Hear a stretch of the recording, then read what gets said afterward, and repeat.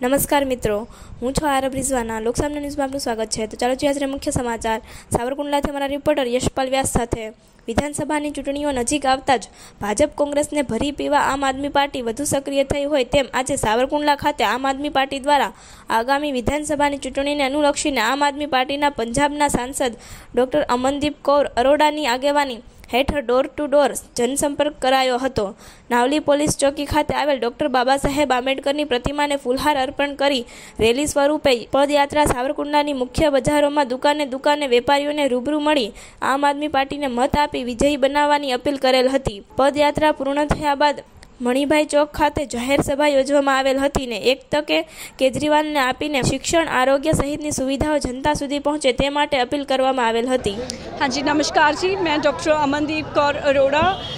MLA Moga अ, Punjab state से आज यहाँ पे हमने डोर टू डोर और जनसभा की अ, क्योंकि गुजरात में जो विधानसभा के इलेक्शन हैं वो आने वाले हैं तो लोगों के साथ अ, हमने आके इन लोगों को मिले और आम आदमी पार्टी को वोट डालने के लिए अपील किया તો જોતા રહો લોકસામના ન્યૂઝ ફરી મળીશું નવા સમાચાર સાથે